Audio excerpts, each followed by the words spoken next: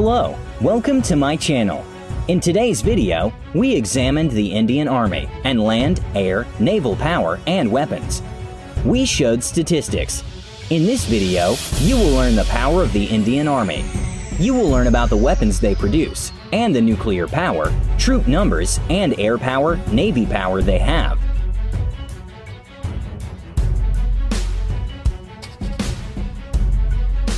The Republic of India is a country located in South Asia. It is the country with the seventh largest geographical area and the second largest population in the world. Capital, New Delhi. New Delhi is the capital of India, with an inner city population of 321,883, as a residential area, with a population of 17,753,087 people. It was the capital of British India from 1912 to 1947. After that, when India became independent, it continued to remain the capital again. President Ram Nath Kovind Ram Nath Kovind, Indian politician. Kovind has a presidential office in the Historic Center on July 25, 2017, in the Asian country of India. India has been fast developing new military technology, acquiring what is required, manufacturing weapons, aircraft, naval vessels, etc., to make India's military a strong force to handle these threats.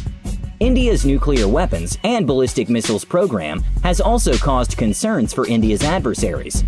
Adding to this, the increased pace of acquisitions and commissioning of defense equipment shows that India is wary of the threats and wants to upgrade and bolster the military as much as possible.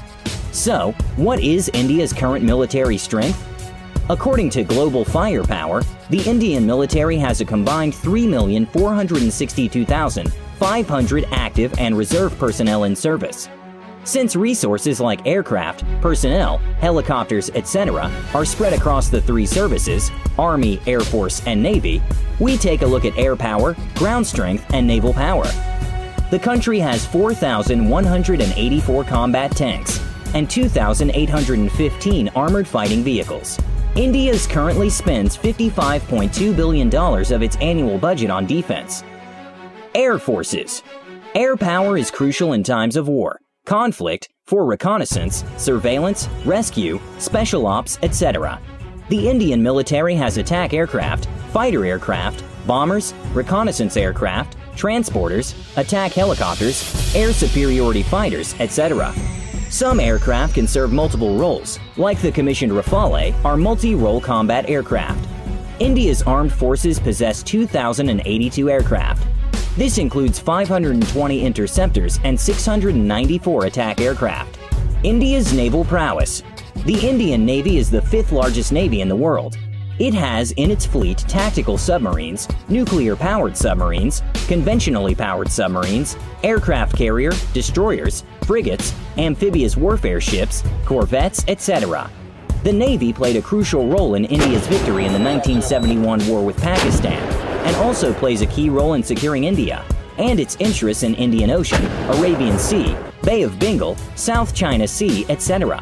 Their navy is composed of 13 frigates, 16 submarines, 11 destroyers, and 139 coastal defense craft. India's nuclear missile capability. According to Arms Control Association, India's nuclear stockpile has 130 warheads. ACA data from July 2017 shows India's nuclear stockpile as the seventh largest in the world. India has a variety of launch systems that can deliver nuclear warheads. For example, missiles launched from land or from naval vessels and even submarines. Please subscribe to my YouTube channel. Thanks for watching!